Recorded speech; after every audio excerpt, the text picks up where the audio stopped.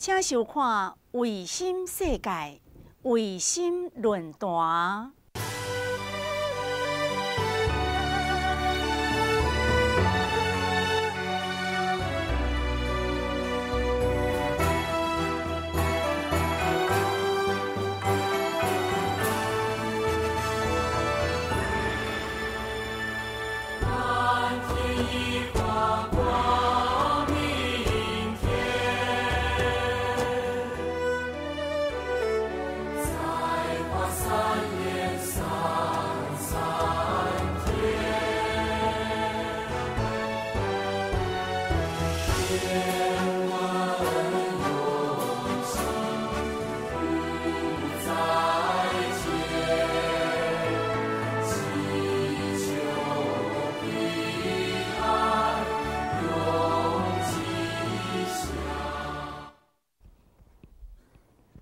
诸位一定很惊讶，我没有上台，因为我想争取点时间。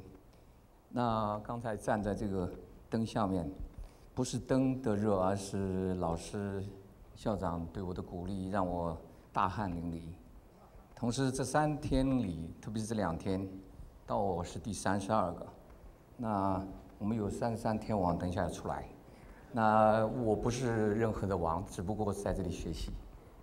那今天我站在这里的原因是，我想做一个实验。我刚才发了个意念给这个，呃，里边两位师兄说，麻烦你把这个电池关掉，十二分钟不要响。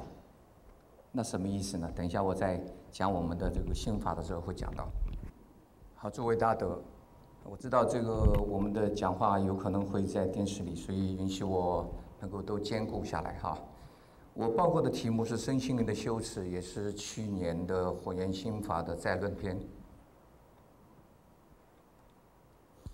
首先，请大家注意有几个关键词，一个是身心灵，一个是五蕴，也就是色、受、想、行、识啊，我想大家都了解。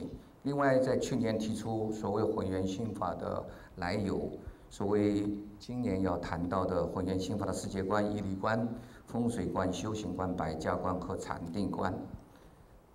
由于时间的关系啊，大家可能要多看原文。我们提出来万法唯心，心造无非业造，心是身心灵三位一体的主角，心是业的载体，业是身心灵的四代因果。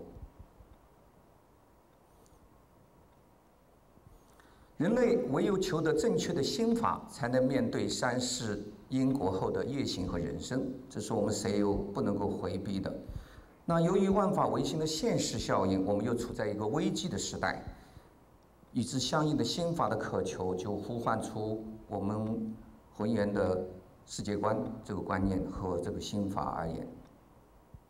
所谓浑圆，在上篇我们已经已已经讨论过，它是太极阴阳五行之道，大无其外，细无其内，是理是道，是天地之大道。这里我要补充一下，我们过去的所有的法都是要外求。我们包括一些易经风水都说外求去学，但是今天我们提出混元心法的这个研究的意思，就是说混元就是你自己。这个问题我向师父讨教过。事实上，大家如果用混元一心的这个想法来呃学习，那么你可以把自己的自信的开发出来。我们今天提出它有一花开五叶的这样的一个观念，请大家注意一下。好。如果要概括混元心法，我们用这两方面就可以把它概括。从左边看，我们心上有个相，这是上次我讨论过的。也就是说，首次提出来明相见心的问题。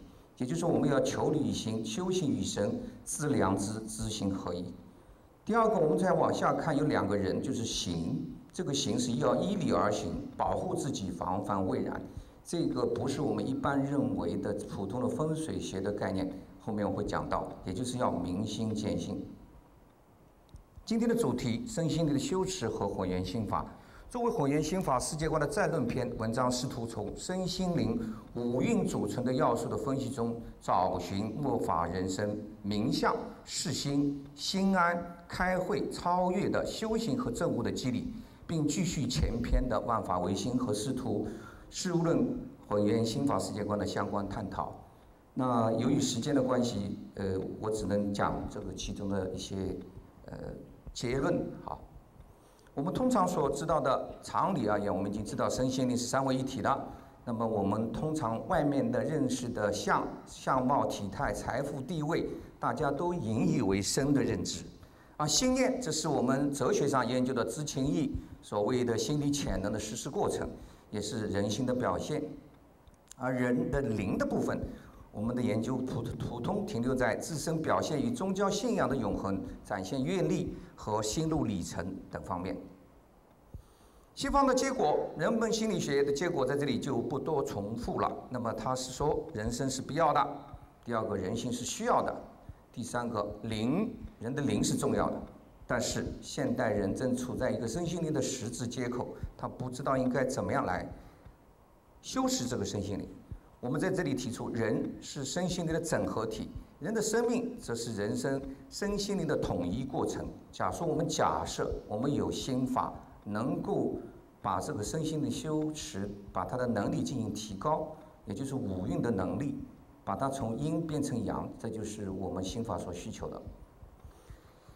也就是说，人生是有形的，人心是无形无相无物的，而他们都有具体的用具体相的方式，展现在有形有物的人生这当中。人灵是一切形和物的引导，而它又决定了人生的心灵的方向。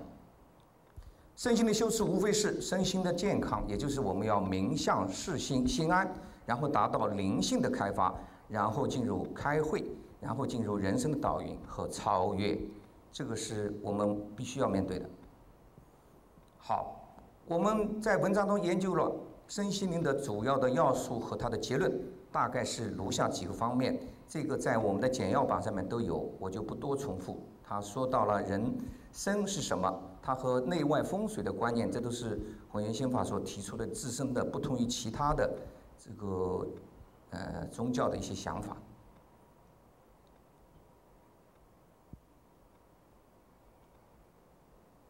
好，火焰心法的修持，我们最后会用这个图来显示给大家看。大家可以看到，从身进入心，进入灵，我们的方式是。以，首先在身方面我们要意识自我，然后要进入到心方面，要变成了在受想行方面要防范未然，然后最后在灵方面是怎么样来发掘、帮助别人，这是你灵修的一个重要环节。我们细致的讲，所谓生，眼耳鼻舌身意，进入莫那时，进入阿赖耶识产生的印，在这里混元心法的风水观，我们提出来的是首次引入了空间的概念。所谓空间这个概念，在佛家来讲，它是一个常理性的、普通性的一个概念，它不具备物物物质性。但是今天，和圆心法提出来，空间它具备物质性。我们在这里看九星、看天干地支等等，对我们人生的影响，都可以看得出来。我们这里就不研究了哈。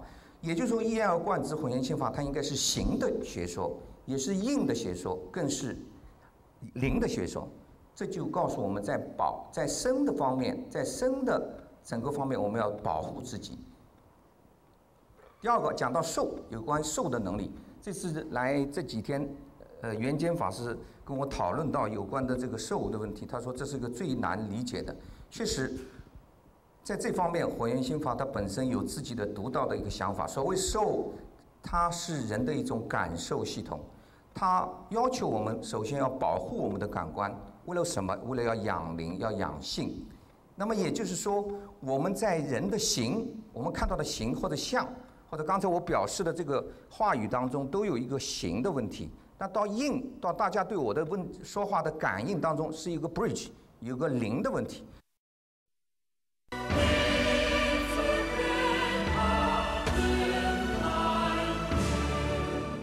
那这一方面，在灵的问题，首先，混元心法采用阐述的一个什么方法呢？它先是用隔绝的方法，也就是说，我还没让你发生，我就隔绝掉，我就前置。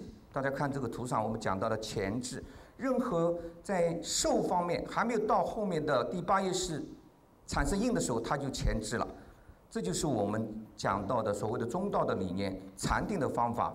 和它的百家观，也就是我们用化解的方法，首先预放在前面。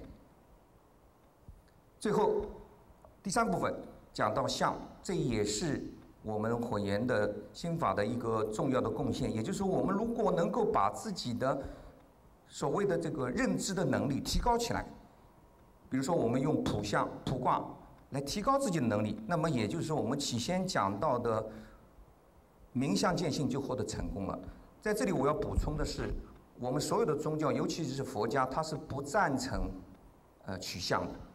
但是在今天我们提出的一个想法就是，一定要认知这个相，要有相。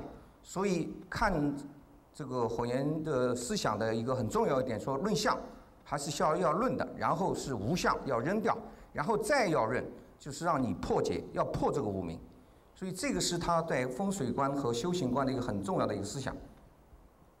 接下来讲行，行无非是一个人的心理的能动能力。它包括生与业三方面，它都和前面的想、前面的受一性而过，它会产生我们今天的业。所谓业，它有它的责任性和主体性，它具备了相应的这个潜藏和记忆的功能。所以我们在这里火焰的修行观提出来就是三论，他认为这个有论、有形、有相、有运、有命。都是有的，但是你要把它否掉，你要立行，立行在哪里？说相由心生，因缘果报，行功立德，这是人生修行的警示。好，其他方面我们略过，我们最后讲一下有关的事。事在这里是非常重要的。为什么火焰心法要有安心的法门？为什么我们认为它是安心的法门？为什么是临事的一个过程？因为事的能力的提高，才能让你产生认识自我。解释、理解自我，最后知行合一和觉照智慧，这一点才能产生心安。这一个是重要的一个内容，在这方面我们这个能力提高以后，我们才会有后面的可能性。好，我们已经在上篇当中都了解到这方面的这个过程哈，这里都看到了。那么在这里呢，我们就牵涉到一个灵性的开发的问题。火焰心法认为自己有这样的自己的灵性开发的过程，也就是从理解自我到心安的过程。他怎么样做呢？首先，各业你要化解你的各业，你要安神，你要记住。第二个，你要解决你的共业，你要解决我们所有人类的共业，这样才会提升自己的灵性，否则没有戏。好，最后我们看一看，从意识自我到修正自我到升华，整个的过程是一个认知的过程、完善的过程、完美的过程。从这边有一个很符号，就是从一个小的音到一个非常接近的音，最后到了一个纯阳。